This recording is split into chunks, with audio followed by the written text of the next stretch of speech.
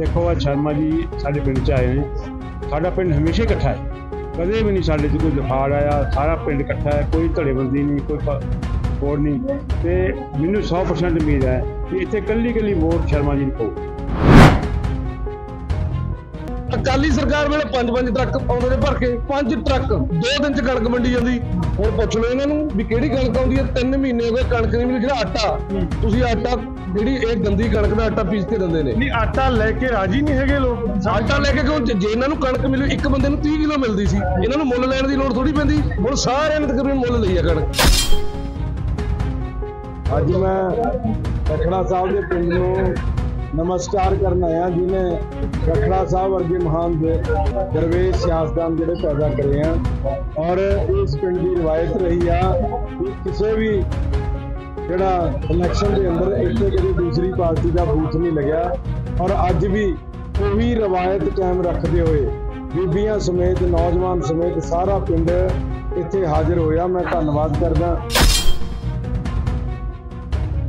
ਸਰਪੰਚ ਸਾਹਿਬ, ਲੋਕ ਕੀ ਚਾਹੁੰਦੇ ਆ? ਲੋਕ ਤਾਂ ਚਾਹੁੰਦੇ ਨੇ ਕਿ ਸਾਨੂੰ ਸਿਹਤ ਸਿੱਖਿਆ ਸੇਵਾਵਾਂ ਵਧੀਆ ਮਿਲਣ। ਲੋਕਾਂ ਦੇ ਜਦੋਂ ਸਰਕਾਰਾਂ ਨੇ ਪੁਰਾਣੇ ਟਾਈਮ ਸਕੀਮ ਚਲਾਈ ਹੋਈ ਸੀ, ਬਾਦਲ ਸਰਕਾਰ ਵੇਲੇ, ਸਗਨ ਸਕੀਮ ਸੀ ਚਾਟਾਦਾਰ ਸਕੀਮ ਸੀ, ਉਹਨੂੰ ਸੁਚੱਜੇ ਢੰਗ ਨਾਲ ਚਲਾਉਣ, ਚਲਾਇਆ ਜਾਵੇ, ਪਰ ਉਹਨੂੰ ਸੁਚੱਜੇ ਢੰਗ ਨਾਲ ਚਲਾਉਣ ਦੀ ਬਜਾਏ, ਜੇ ਸਰਕਾਰਾਂ ਨੇ ਹੁਣ ਦੇਖਿਆ ਜਾਵੇ ਤਾਂ ਇਹਨਾਂ ਦੀ ਕਣਕ ਹੀ ਬੰਦ ਕਰੀ ਹੋਈ ਆ। ਲਖਣਾ ਸਾਹਿਬ ਇੱਕ ਲਾਟ ਸਵਾਲ ਹੈ, ਲੋਕ ਕੀ ਚਾਹੁੰਦੇ ਆ? ਮਤਲਬ ਲੀਡਰ ਸਾਰੇ ਆਪਣੀ ਆਪਣੀਆਂ ਗੱਲਾਂ ਦੱਸਦੇ ਆ, ਜਾ ਕੇ ਪ੍ਰਚਾਰ ਕਰਦੇ ਆ, ਲੋਕਾਂ ਦੀ ਕੀ ਡਿਮਾਂਡ ਹੈ? ਲੋਕ ਚਾਹੁੰਦੇ ਨੇ ਇਮਾਨਦਾਰੀ ਬਿਆਨਦਾਰੀ ਕਿਰਦਾਰ ਹਰ ਚੀਜ਼ ਲੋਕ ਦਿਖਾਉਣਾ ਚਾਹੁੰਦੇ ਨੇ ਸੋ ਉਹਦੇ ਪੱਖੋਂ ਨਾ ਸ਼੍ਰੋਮਣੀ ਅਕਾਲੀ ਦਲ ਦਾ ਮੁਕਾਬਲਾ ਨਾ ਸ਼ਰਮਾ ਦਾ ਮੁਕਾਬਲਾ ਇੰਨੀ ਛੇਤੀ ਕਿਸੇ ਨੂੰ ਇੱਕ ਰੁਪਈਆ ਨਹੀਂ ਆਇਆ ਕਿਸੇ ਨੂੰ ਨਹੀਂ ਆਇਆ ਹੈ ਜੀ ਹੈ ਫਿਰ ਉਹ ਨਹੀਂ ਅਗਲੇ ਨੂੰ ਹੱਕ ਦਿੰਦਾ ਹੀ ਅਸੀਂ ਜਾਈਏ ਲਿਖ ਲਿਖ ਕੇ ਸਾਰੇ ਦੇ ਲੈ ਗਏ ਬਾਰ-ਬਾਰ ਲੈ ਗਏ ਠੀਕ ਹੈ ਜੀ ਹੁਣ ਫਿਰ ਕੰਮ ਹੋ ਨਹੀਂ ਰਹੇ ਜੀ ਪਿੰਡਾਂ 'ਚ ਕਿਸੇ ਦਾ ਵੀ ਨਹੀਂ ਹੋ ਰਿਹਾ ਕੰਮ ਆ ਵਿਚਾਰੇ ਸਰਪੰਚ ਮੈਂਬਰ ਵੀ ਕੀ ਕਰਨ ਕਿੱਥੋਂ ਦੇਣੇ ਆਪਣੇ ਪੱਲੇ ਜੀ ਕਿਸੇ ਦਾ ਕੰਮ ਨਹੀਂ ਨਹੀਂ ਉਹ ਤਾਂ ਬਹੁਤ ਵੱਡਾ ਹੁਣ ਤਾਂ ਆਟਾ ਮਿਲ ਰਿਹਾ। ਹੈ ਆਟਾ ਵੀ 5 ਕਿਲੋ ਮਿਲਦਾ ਉਹ ਵੀ ਨਹੀਂ ਮਿਲਿਆ ਇਹਨਾਂ ਨੂੰ। 100 ਦੇ ਕਰੀਬ ਪਰਿਵਾਰ ਆ ਸਾਰੇ ਖੜੇ ਨੇ। ਜੀ।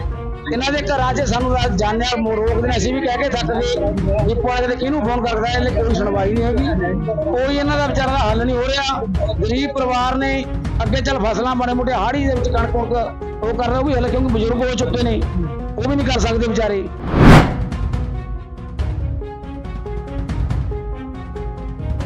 ਪੰਜਾਬੀਆਂ ਨਾਲ ਬਹੁਤ ਵੱਡੀ ਠੱਗੀ ਮਾਰੀ। ਤੁਸੀਂ ਦੇਖੋ ਵੀ ਹੁਣ ਜਿਹੜਾ ਵਿਅਕਤੀ ਇੱਕ ਰਾਜ ਸਭਾ ਮੈਂਬਰ ਨੂੰ ਆਪਣੇ ਘਰ ਬੁਲਾ ਕੇ ਜਲੀਲ ਕਰੇ, ਉਹਦੇ ਨਾਲ ਕੁੱਟਮਾਰ ਕਰੇ, ਉਹਦੀ ਬੇਇੱਜ਼ਤੀ ਕਰੇ, ਕਿਆ ਉਹ ਲੀਡਰ ਕਹਾਣ ਦੇ ਹੱਕਦਾਰ ਹੈ?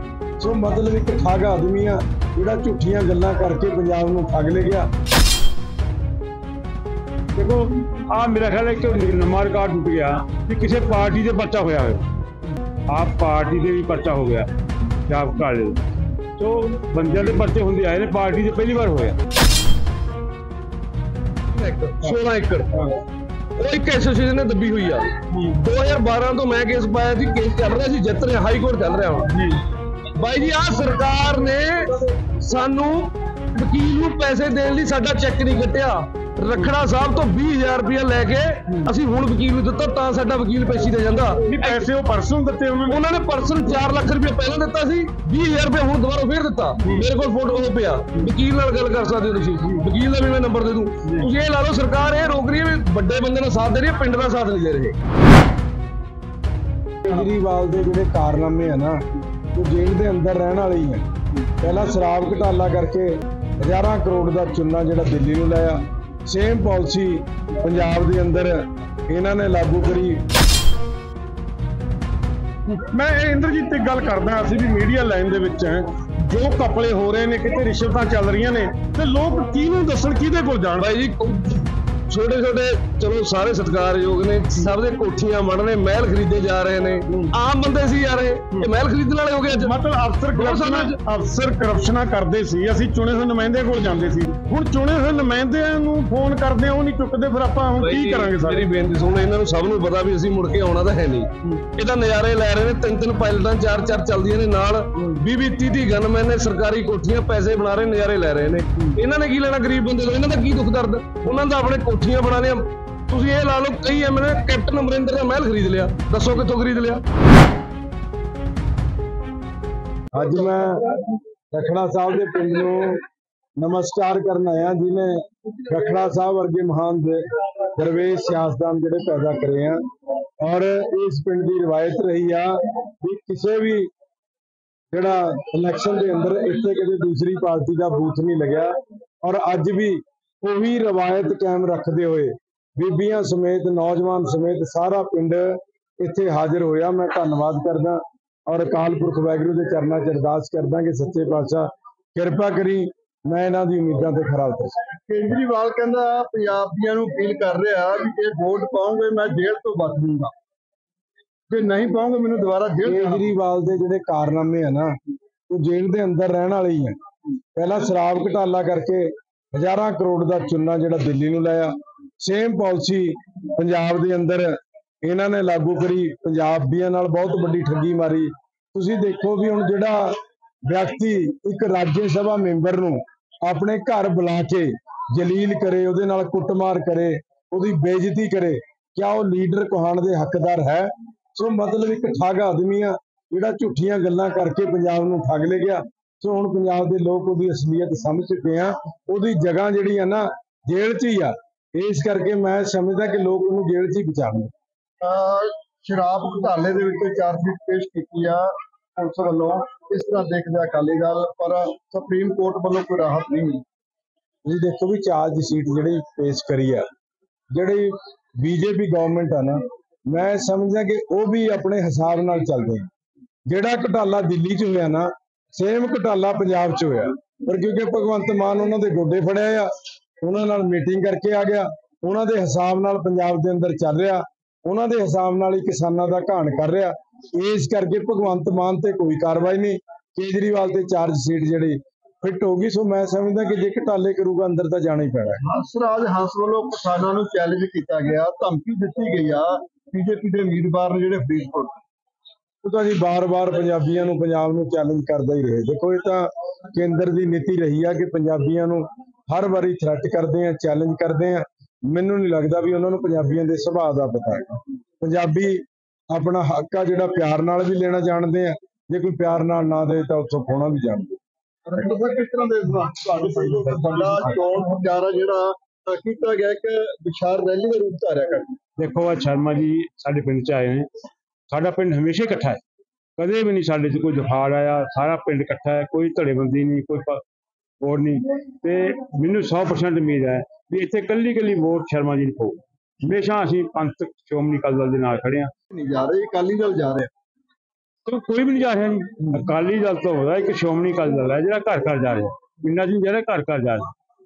ਦੇਖੋ ਆ ਮੇਰਾ ਖਿਆਲ ਹੈ ਕਿ ਨੰਬਰ ਕਾਰਡ ਟੁੱਟ ਗਿਆ ਕਿ ਕਿਸੇ ਪਾਰਟੀ ਦੇ ਪਰਚਾ ਹੋਇਆ ਹੋਵੇਗਾ ਆਪ ਪਾਰਟੀ ਦੇ ਵੀ ਪਰਚਾ ਹੋ ਗਿਆ ਛਾਪ ਕਾਲੇ ਸੋ ਬੰਦਿਆਂ ਦੇ ਪਰਚੇ ਹੁੰਦੇ ਆਏ ਨੇ ਪਾਰਟੀ ਦੇ ਪਹਿਲੀ ਵਾਰ ਹੋਇਆ ਸੋ ਇਹ ਤਾਂ ਨਵਾਂ ਇਤਿਹਾਸ ਹੈ ਨੇ ਹਰ ਚੀਜ਼ ਦਾ ਨਵਾਂ ਇਤਿਹਾਸ ਕਿੰਨੇ ਪਿੰਡਾਂ ਦਾ ਅੱਜ ਰੂਟ ਹੈ ਜੀ ਅੱਜ ਸਾਡਾ ਤਕਰੀਬਨ 15 16 ਪਿੰਡ ਨੇ ਤੇ ਸਾਰਿਆਂ ਦੇ ਵਿਛਵਾਣਾ ਸ਼ਹਿਰ ਵੀ ਉਹਦੇ ਬਾਅਦ ਦੇ ਵਿੱਚ ਤੇ ਸਾਰੇ ਬਹੁਤ ਵੱਡੀ ਇਕੱਠ ਨੇ ਇੱਕ ਪਾਸੇ ਕੈਬਨਿਟ ਮਿਨਿਸਟਰ ਲੜ ਰਹੇ ਨੇ ਇੱਕ ਪਾਸੇ ਸਾਬਕਾ ਕੈਬਨਿਟ ਮਿਨਿਸਟਰ ਹਲਕੇ ਦੇ ਵਿੱਚ ਚੋਣ ਪ੍ਰਚਾਰ ਕਰ ਰਹੇ ਨੇ ਕਿਹਦੀ ਝੰਡੀ ਰਹੂਗੀ 4 ਤਰੀਕ ਨੂੰ।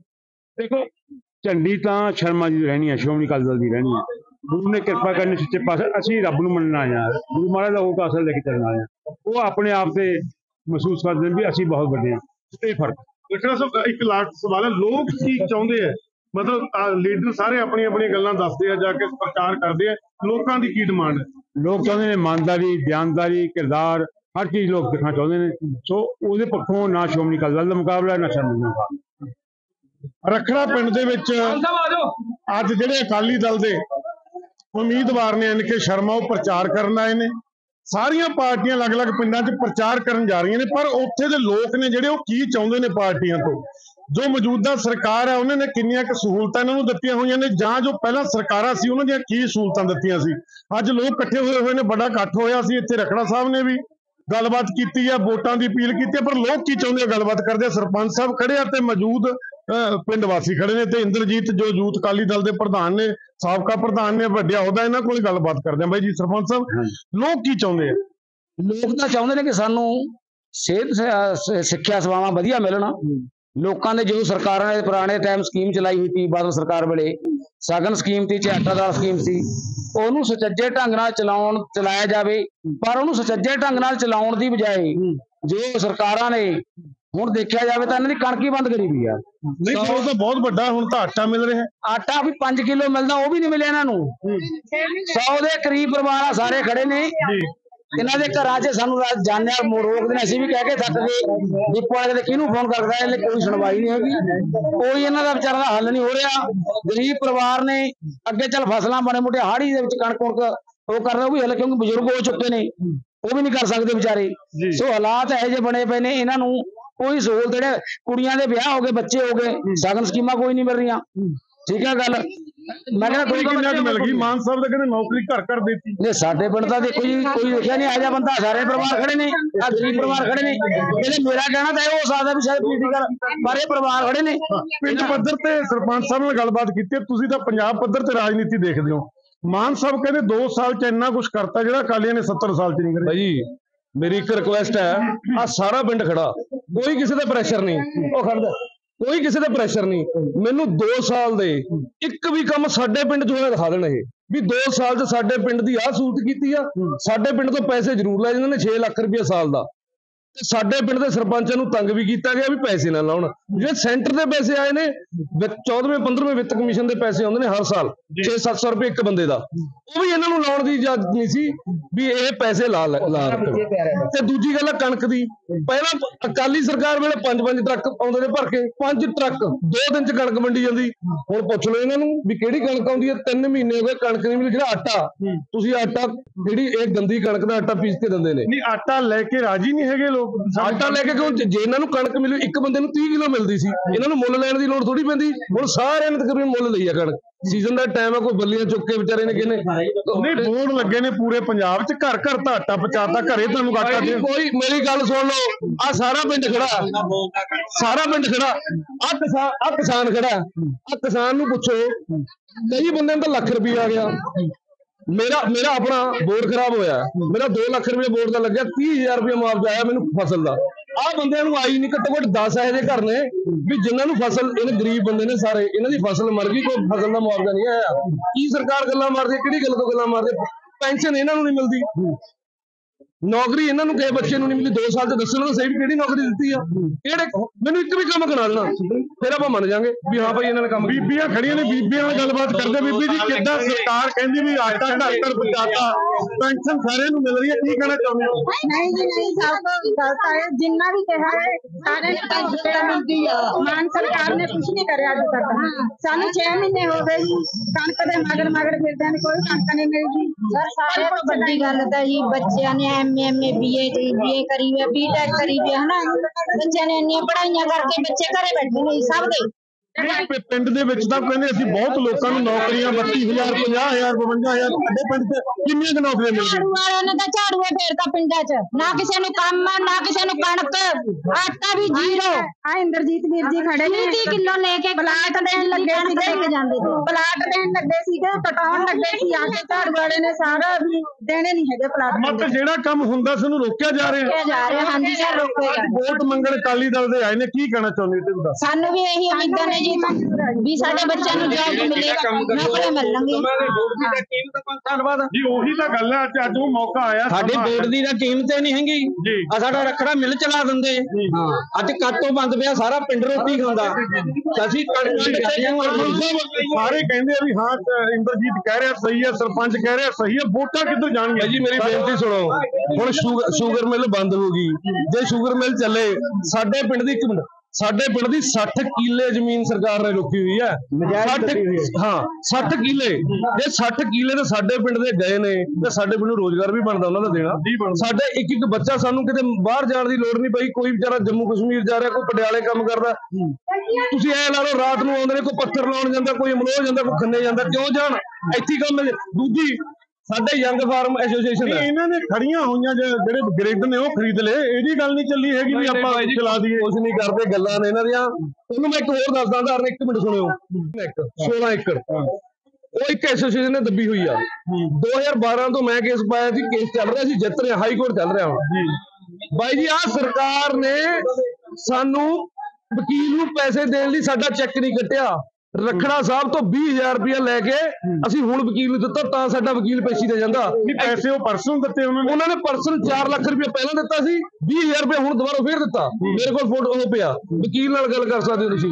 ਵਕੀਲ ਦਾ ਵੀ ਮੈਂ ਨੰਬਰ ਦੇ ਦੂੰ। ਤੁਸੀਂ ਇਹ ਲਾ ਲਓ ਸਰਕਾਰ ਇਹ ਰੋਕ ਰਹੀ ਹੈ ਵੀ ਵੱਡੇ ਬੰਦੇ ਦਾ ਸਾਥ ਦੇ ਰਹੀ ਹੈ ਪਿੰਡ ਦਾ ਸਾਥ ਨਹੀਂ ਦੇ ਰਹੇ। ਮੈਂ ਇਹ ਇੰਦਰਜੀਤ ਤੇ ਗੱਲ ਕਰਦਾ ਅਸੀਂ ਵੀ ਮੀਡੀਆ ਲਾਈਨ ਦੇ ਵਿੱਚ ਹੈ। ਜੋ ਕਪੜੇ ਹੋ ਰਹੇ ਨੇ ਕਿਤੇ ਰਿਸ਼ਵਤਾਂ ਚੱਲ ਰਹੀਆਂ ਨੇ ਤੇ ਲੋਕ ਕਿਹਨੂੰ ਦੱਸਣ ਕਿਹਦੇ ਕੋਲ ਜਾਣ? ਬਾਈ ਜੀ ਛੋਟੇ ਛੋਟੇ ਚਲੋ ਸਾਰੇ ਸਤਿਕਾਰਯੋਗ ਨੇ ਸਭ ਦੇ ਕੋਠੀਆਂ ਬਣਨੇ ਮਹਿਲ ਖਰੀਦੇ ਜਾ ਰਹੇ ਨੇ। ਆਮ ਬੰਦੇ ਸੀ ਯਾਰ ਇਹ। ਮਹਿਲ ਖਰੀਦਣ ਵਾਲੇ ਹੋ ਗਏ ਅੱਜ। ਮਤਲਬ ਅਫਸਰ ਕਰਪਸ਼ਨਾਂ ਸਾਰਾ- ਅਫਸਰ ਕਰਪਸ਼ਨਾਂ ਕਰਦੇ ਸੀ। ਅਸੀਂ ਚੁਣੇ ਹੋਏ ਨੁਮਾਇੰਦਿਆਂ ਕੋਲ ਜਾਂਦੇ ਸੀ। ਹੁਣ ਚੁਣੇ ਹੋਏ ਨੁਮਾਇੰਦਿਆਂ ਨੂੰ ਫੋਨ ਕਰਦੇ ਆ ਉਹ ਨਹੀਂ ਚੁੱਕਦੇ ਫਿਰ ਆਪਾਂ ਹੁਣ ਕੀ ਕਰਾਂਗੇ ਸਾਰੇ? ਮੇਰੀ ਬੇਨਤੀ ਸੁਣੋ ਇਹਨਾਂ ਨੂੰ ਸਭ ਨੂੰ ਪਤਾ ਵੀ ਅਸੀਂ ਮੁੜ ਕੇ ਆਉਣਾ ਤਾਂ ਹੈ ਨਹੀਂ। ਇਹ ਤਾਂ ਨਜ਼ਾਰੇ ਲੈ ਰਹੇ ਨੇ ਤਿੰਨ ਤਿੰਨ ਪਾਇਲਟਾਂ ਚਾਰ ਚਾਰ ਚੱਲਦੀਆਂ ਨੇ ਨਾਲ। 20 20 30 30 ਗਨਮੈਨ ਨੇ ਸਰਕਾਰੀ ਕੋਠੀਆਂ ਪੈਸੇ ਬਣਾ ਰਹੇ ਨਜ਼ਾਰੇ ਲੈ ਰਹੇ ਨੇ। ਇਹਨਾਂ ਨੇ ਕੀ ਲੈਣਾ ਗਰੀਬ ਬੰਦੇ ਤੋਂ? ਇਹਨਾਂ ਦਾ ਕੀ ਦੁੱਖ ਦਰਦ? ਉਹਨਾਂ ਦਾ ਆਪਣੇ ਕੋਠੀਆਂ ਬਣਾ ਲਿਆ ਤੁਸੀਂ ਇਹ ਲਾ ਲਓ ਕਈ ਐਮਐਲਏ ਕੈਪਟਨ ਅਮਰਿੰਦਰ ਦਾ ਮਹਿਲ ਖਰੀਦ ਲਿਆ। ਦੱਸੋ ਕਿੱਥੋਂ ਖਰੀਦ ਲਿਆ? ਅੱਜ ਰਖੜਾ ਪਿੰਡ ਦੇ ਵਿੱਚ ਖੜੇ ਆ ਆਪਾਂ। ਹਾਂਜੀ, ਆ ਲੋਕ ਨੇ ਜੋ ਕੀ ਚਾਹੁੰਦੇ ਨੇ ਜਾਂ ਕੀ ਪਿੰਡਾਂ ਦੇ ਵਿੱਚ ਹੋਇਆ, ਸਾਰਾ ਕੁਝ ਇਹਨਾਂ ਨੇ ਦੱਸਿਆ। ਤੇ ਅੱਜ ਐਨ ਕੇ ਸ਼ਰਮਾ ਰਖੜਾ ਪਿੰਡ ਦੇ ਵਿੱਚ ਪਹੁੰਚੇ ਸੀ। ਸਰਦਾਰ ਸੁਰਜੀਤ ਸਿੰਘ ਰਖੜਾ ਦਾ ਹਲਕਾ ਹੈ। ਉਹ ਲੋਕਾਂ ਨੇ ਵਿਸ਼ਵਾਸ ਦਿਵਾਇਆ ਵੀ ਕੱਲੀ ਕੱਲੀ ਵੋਟ ਹੈ ਜਿਹੜੀ ਐਨ ਕੇ ਸ਼ਰਮਾ ਜੀ ਨੂੰ ਪਊਗੀ। ਜੋ ਇਸ ਸਰਕਾਰ ਦੇ ਵਿੱਚ ਵੱਡੇ ਵੱਡੇ ਵਾਅਦੇ ਕੀਤੇ ਗਏ ਸੀ ਮਾਨ ਸਰਕਾਰ ਬਾਰੇ, ਗੱਲਾਂ ਜੋ ਚੱਲਦੀਆਂ ਨੇ ਪਿੰਡਾਂ ਦੇ ਲੋਕ ਕੀ ਕਹਿ ਰਹੇ ਨੇ, ਤੁਸੀਂ ਸਾਰਾ ਕੁਝ ਸੁਣ ਲਿਆ। ਇਹ ਕਹਿੰਦੇ ਅਸੀਂ ਵੋਟ ਨਾਲ ਹੀ ਆਪਣਾ ਬਦਲਾ ਲਵਾਂਗੇ, ਸਾਡੀ ਵੋਟ ਦੀ ਜਿਹੜੀ ਇਹਨਾਂ ਨੇ ਅਹਿਮਤ, ਸਾਡੀ ਕੀਮਤ ਨਹੀਂ ਜਾਣੀ। ਹੁਣ ਦੱਸਾਂਗੇ ਸਾਡੀ ਵੋਟ ਦਾ ਜਿਹੜੀ ਕੀਮਤ ਕੀ ਹੈ।